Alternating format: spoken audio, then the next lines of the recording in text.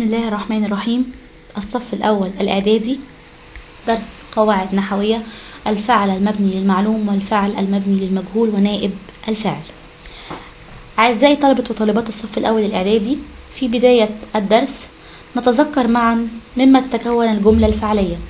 تتكون الجملة الفعلية من فعل وفاعل ومفعول به.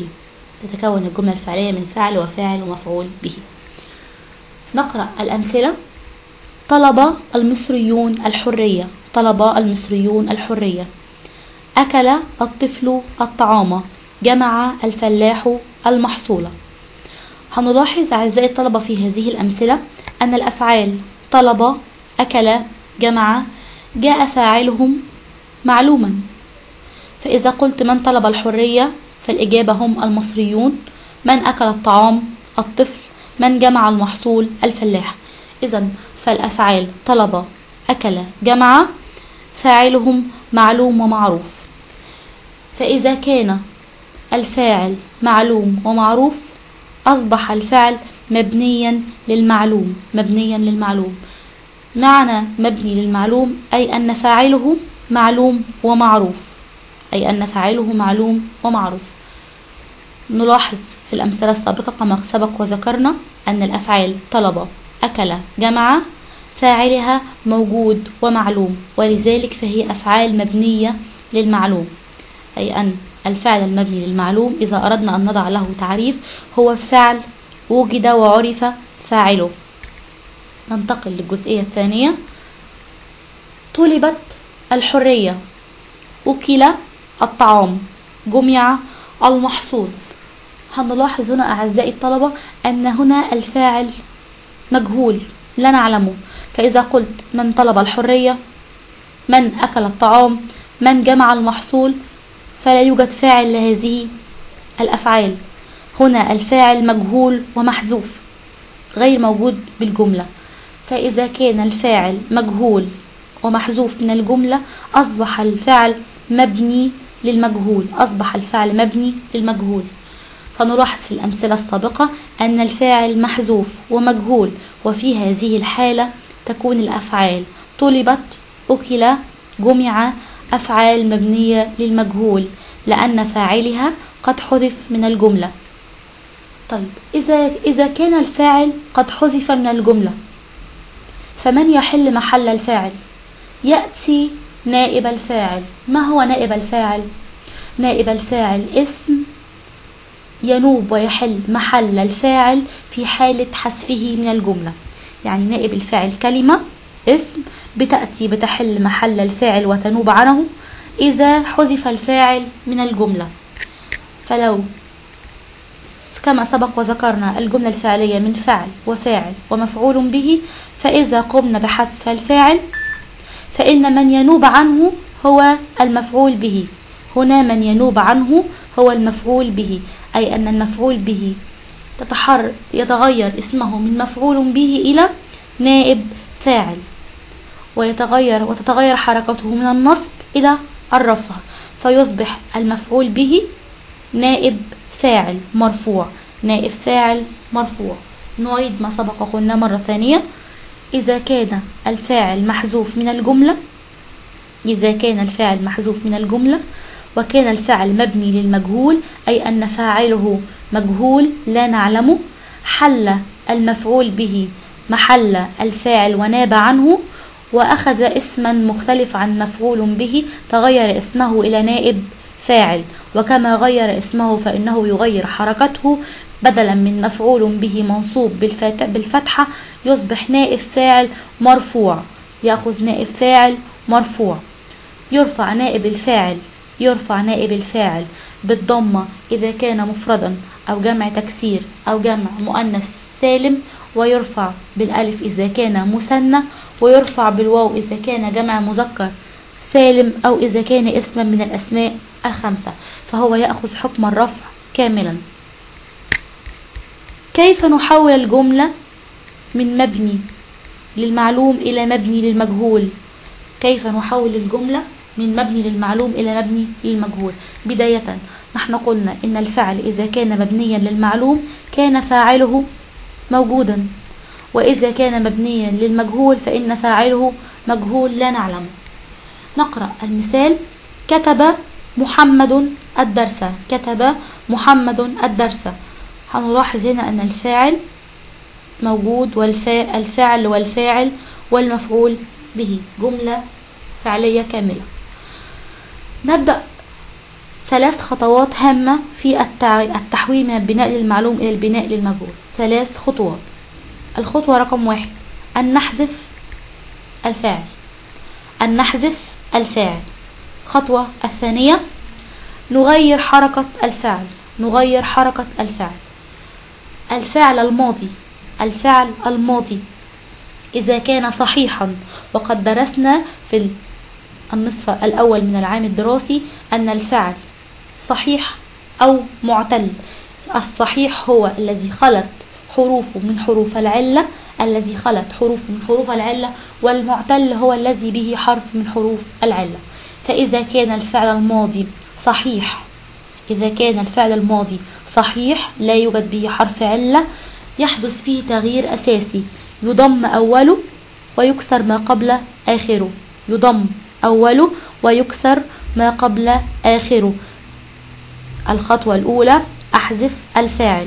الخطوة الثانية إذا كان الفعل الماضي صحيح أضم أوله وأكسر ما قبل آخره الخطوة الثالثة هو تحويل المفعول به من مفعول به منصوب بالفتحة إلى نائب فاعل مرفوع بالضمة كما سبق وقلنا إذا كان مفردا هو هنا مفرد.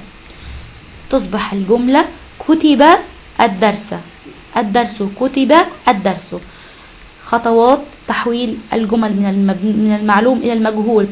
احذف الفاعل قم بتغيير الفعل. حركته إذا كان ماضيا صحيحا إذا كان الفعل ماضي صحيح ضم أوله اكسر ما قبل آخره. ضم أوله واكسر ما قبل آخره.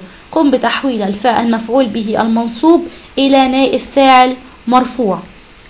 المثال الثاني باع الفلاح المحصولة باع الفلاح المحصولة هنجد هنا إن الفعل أجوف. أجوف يعني حرف العلة في وسطه. وسطه ألف أو حرف علة. إذا كان الفعل الماضي معتل الوسط أو أجوف تقلب ألفه ياء. تقلب الألف هنا ياء. ويكسر أوله ويكسر أوله. نعيد مرة أخرى. إذا كان الفعل الماضي أجوف أي معتل الوسط تقلب ألفه ياء ويكسر أوله. باع بيع. صام صيم. قال قيل.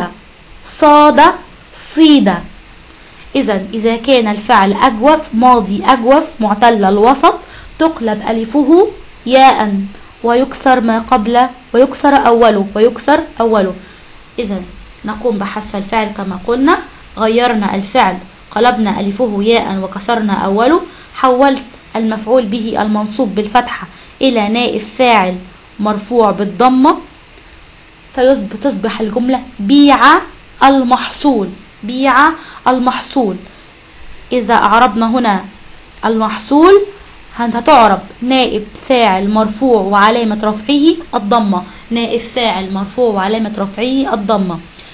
تذكر عزيزي الطالب أن المحصول هنا جاءت نائب فاعل لأن الفعل بني للمجهول. حذف الفاعل فحل وناب عنه المفعول به وأصبح نائب فاعل. نائب الفاعل هو اسم يحل محل الفاعل إذا حذف من الجملة ويأخذ حكم الرفع ويسبقه فعلا مبنيا للمجهول. نائب الفاعل لا يأتي إلا قبل إلا بعد فعل مبني للمجهول. أكرم الأب الضيف أكرم الأب الضيف. نحذف الفاعل. أكرم فعل ماضي صحيح ضم أوله. اكسر ما قبل آخره. حول الضيف من مفعول به منصوب بالفتحة إلى نائب فاعل مرفوع بالضمة وتصبح الجملة أكرم الضيف. أكرم الضيف. تقدم القائد الجنود. تقدم القائد الجنود. قمنا بحفظ الخطوات. احذف الفاعل. تقدم فعل ماضي صحيح إذا أضم أوله أكثر ما قبل آخره ثم أحول الجنود من من مفعول به إلى نائب. فاعل مرفوع بالضمة تقد تقدم تقدم الجنود. اكتشف الرجل الأمر. اكتشف الرجل الأمر. كما قلنا احذف. الفاعل اكتشف فعل ماضي صحيح ضم أوله اكسر يضم أوله ويكسر ما قبل آخره فيصبح اكتشف الأمر اكتشف الأمر. استخرج المهندس البترول. واحد احذف الفاعل. استخرج فعل ماضي صحيح ضم الأول اكسر ما قبل الآخر تصبح الكلمة استخرج استخرج البترول. استخرج البترول. عزيزي الطالب يجب أن ننبه على شيء هام هو أن التشكيل في تحويل الفعل من معلوم إلى مجهول هام جدا وشيء أساسي. فالمعلم يعرف أنك قد فهمت وقمت بتحويل الفعل من معلوم إلى مجهول عن طريق تشكيلك للفعل. فهنا التشكيل شيء أساسي وهام. كتابة الفعل دون تشكيل لا تعني أنك قد قمت بتحويله بشكل سليم. يجب أن ننبه على أن أساس التحويل تشكيل الفعل. نؤكد مرة أخرى على قاعدة تحويل الفعل الماضي من مبني للمعلوم إلى مبني للمجهول ونقول أن الفعل الماضي الصحيح الفعل الماضي الصحيح يبنى, للم... يبنى للمجهول بضم أوله وكسر ما قبل آخره. إذا كان الفعل الماضي أجوف أي معتل الوسط تقلب ألفه ياء ويكسر أوله. هذا هو ما يطرق ما يطرق على الفعل الماضي عند تحويله من مبني للمعلوم إلى مبني للمجهول.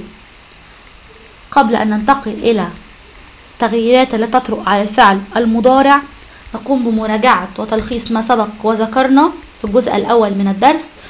الفعل المبني للمعلوم هو الفعل الذي علم فاعله. أصبح كان فاعله معلوما وموجود في الجملة.